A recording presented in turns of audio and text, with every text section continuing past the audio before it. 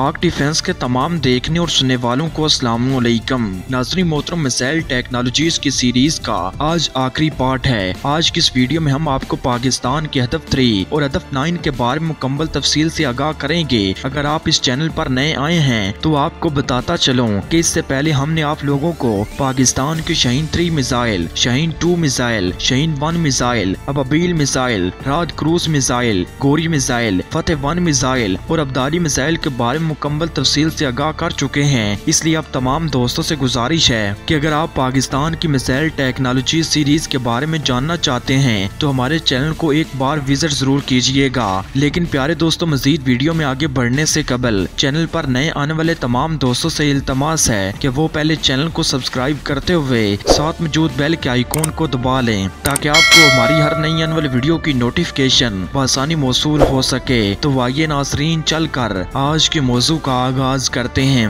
मुसस खातन इससे पहले कि हम आपको पाकिस्तान के इस मिसाइल के बारे में बताएँ कि जिसने भारत को नबे अरब डॉलर का नुकसान पहुँचाया है, यानी कि पाकिस्तान का काबिल फखर और काबिल भरोसा। अल नसर मिसाइल के बारे में बताएँ। इससे पहले हम आप लोगों को पाकिस्तान के गजनवी मिसाइल के बारे में बताएँ। नाजरी मोहतरम, पाकिस्तान के गजनवी मिसाइल को अतफ थ्री के नाम से भी जाना जाता है। अतफ अरबी जबान का लफज है, जिसका मतलब है जान लेवा या इंतकाम लेना।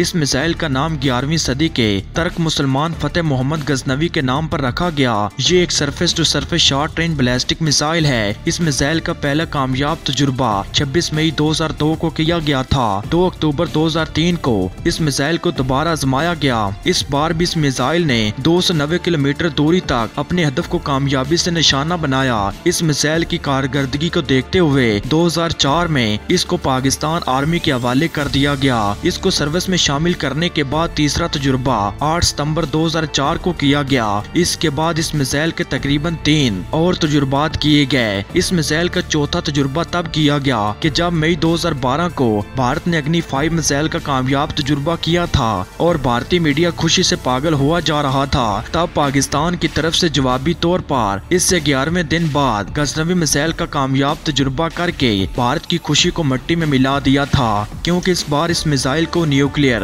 और कन्वेक्शनल वार हेड से लैस किया गया था और इस बार भी इस मिसाइल ने 290 किलोमीटर दूर से अपने हदफ को कामयाबी से निशाना बनाया था। 2017 के दादोशुमार के मुताबिक इस मिसाइल के 2017 तक तीन वेरिएंट्स बनाए जा चुके हैं। नाजरी मोहतरम, इस मिसाइल की स्पेसिफिकेशन के बारे में बताने से पहले नए आने वाले तमाम दोस्तों से बस सिर्फ़ इतनी सी गुजारिश है की वीडियो को आखिर तक ज़रूर देखिएगा ताकि आपको मुकम्मल बात का इल्म हो सके।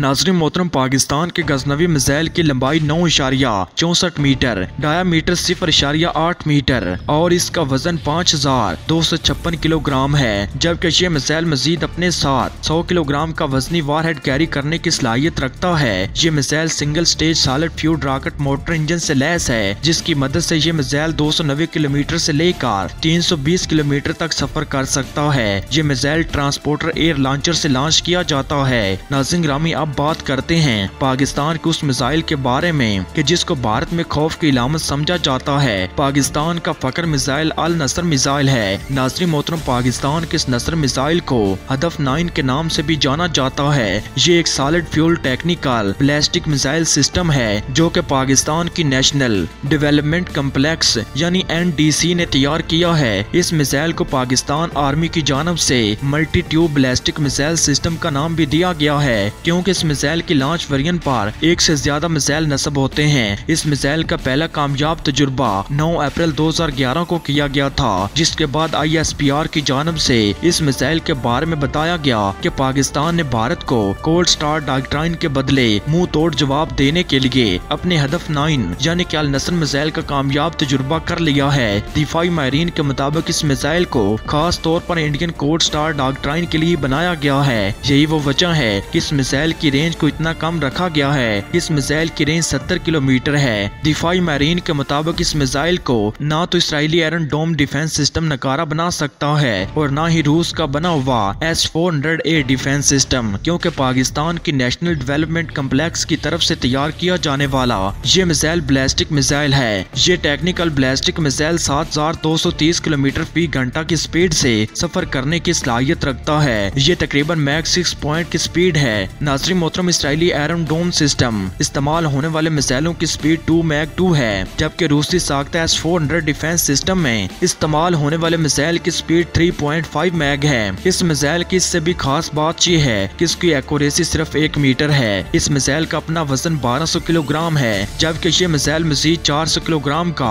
वार कैरी करने की सलाहियत रखता है। इस मिसाइल को ट्रांसपोर्टर एरियर लॉन्चर से दागा जाता है। इसके व्हीकल पर चार मिसाइल मौजूद होते हैं, जो कि यके बाद दीगर एक मिनट के अंदर अंदर दागे जा सकते हैं। नाजरी मोहतरम नसर मिसाइल की अगर कारकर्दगी की बात की जाए तो भारत की बड़ी से बड़ी फौज भी अगर पाकिस्तान में दाखिल होने की कोशिश करे और इस भारतीय फौज के पास टैंक्स हों या फिर आर्मड गाड़ियाँ, नसल मिसाइल की मदद से इस बड़ी से बड़ी फौज को सिर्फ़ चंद मिनटों में ही खत्म किया जा सकता है। यही वो वजह है कि पाकिस्तान के इस नसर मिसाइल के कामयाब तजुर्बे के बाद भारत को अपनी न्यूक्लियर पॉलिसी बदलनी पड़ी थी। यही वो वजह है कि बहत्तर साल से भारत पाकिस्तान को खत्म करने के ख्वाब अपने दिल में रखने के बावजूद पाकिस्तान की तरफ़ कदम नहीं बढ़ा सकेगा। नाजरी मोहतरम, पाकिस्तान अगर आज सलामत है तो इसके पीछे वो पाक फौज की वर्दी है। इसलिए आप तमाम दोस्तों से गुजारिश है कि अगर आप सच्चे और मोहब्बे वतन पाकिस्तानी हैं तो अपनी मोहब्बतों का इजहार कमेंट्स बॉक्स में पाक फौज जिंदाबाद, पाकिस्तान पाइंदाबाद आई एस आई जिंदाबाद का नारा ज़रूर कमेंट कीजिएगा।